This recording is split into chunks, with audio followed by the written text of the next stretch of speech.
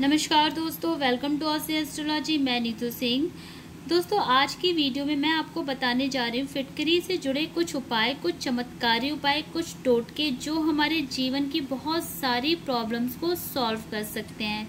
चाहे वो प्रॉब्लम धन संपदा से जुड़ी हो या फिर नज़र दोष से जुड़ी हो या फिर वास्तु दोष से ही क्यों ना जुड़ी हो। चलिए जानते हैं ऐसे कौन से चमत्कारी उपाय हैं।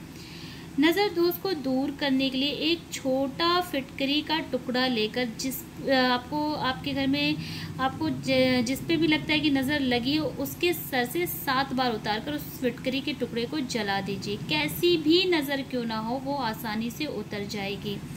अगर आपको लगता है कि घर में नकारात्मक ऊर्जा का वास हो गया है तो कांच के एक बाउल में फिटकरी रखें और हर पंद्रह दिन पर फिटकरी को चेंज कर दें।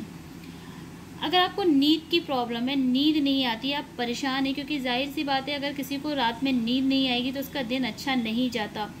नींद की प्रॉब्लम्स को दूर करने के लिए अपने तकिए के नीचे एक फिटकरी का टुकड़ा रखें, इससे आपको नींद की समस्या से छुटकारा मिलेगा। घर में अगर झगड़े ज़्यादा हो रहे हैं, भाई बहन में नहीं बन रही, पति पत्नी में नहीं बन रही, आए दिन वाद विवाद होते हैं तो आपको क्या करना है? एक फिटकरी का टुकड़ा काले कपड़े में बांधकर मेन गेट पर लटका दीजिए।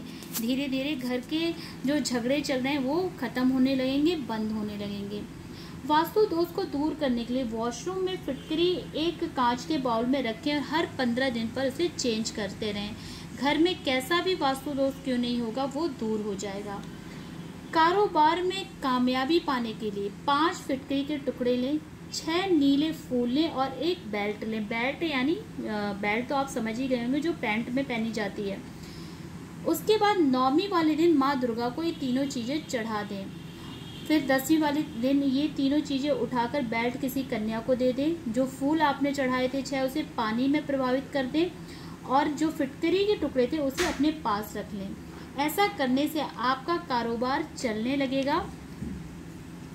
कर्ज से मुक्ति के लिए अगर कर्ज बहुत बढ़ गया है तो आपको क्या करना है? पान के पत्ते पर थोड़ी सी फिटकरी रखें, थोड़ा सिंदूर रखें। ये काम आपको बुधवार वाले दिन करना है। इस इस चीज़ का ध्यान रखें और बुधवार की शाम को ले जाकर पीपल के पेड़ के नीचे इसे दबा दें।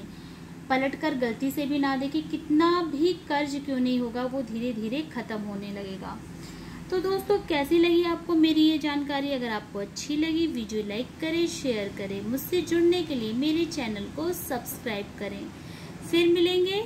जय माता दी।